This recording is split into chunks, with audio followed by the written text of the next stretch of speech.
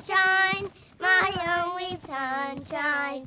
You make me happy when skies are gray. And this is my son and my daughter, and they are legally blind.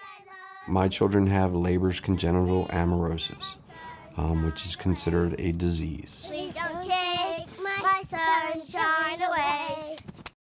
I think I'm the same, except I just can't see. This is Derrick Day. He and his sister Meredith have been almost completely blind since birth.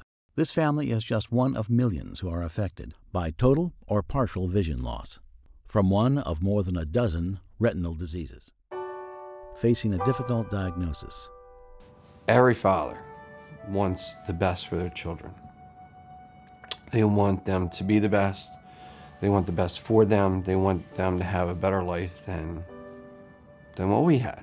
initially immediately i cried was you know how you know how why but i truly didn't labor on that because the how and the why doesn't matter it's just where do we go from here i went immediately to how can we fix it what do we need what do we need to do so i went to the internet and what can i find out about this disease i don't know anything about it and i looked at it extremely practical do the research, find out about it. What kind of treatment? What kind of doctors? What are we looking at? So I was very analytical about it and took the emotion out. So I think it made it an easier transition because I didn't look at it emotionally. I only looked at it practically.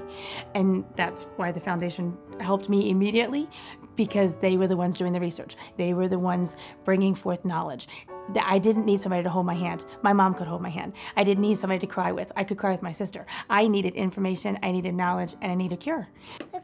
Sometimes I think they think a vision is the abnormal and the lack of vision is normal. So I think that he thinks that he is the norm.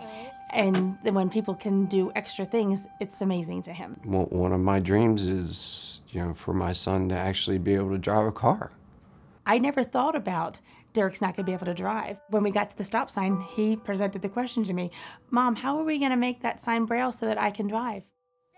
A young dad who just has a, a, a child with a sight issue, I guess my advice to them is is don't be afraid. Respect what's been given to them because they're going to learn a lot. focusing on a cure, For the rain triple dropping on drop. What a rain it will be. How do you let a child feel the horizon? You can't. They have to see it. How do you let a child experience a rainbow? They can't. They have to see it.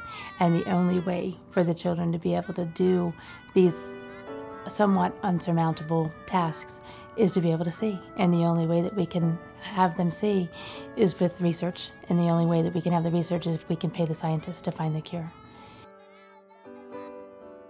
For those individuals who don't have someone who with visual issues, what I'd say to them is you're about to meet my kids. And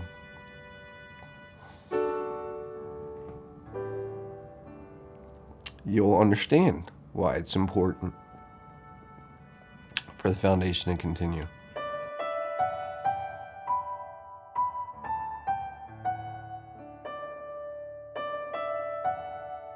Donate now to help find a cure for families like the Days and millions of others.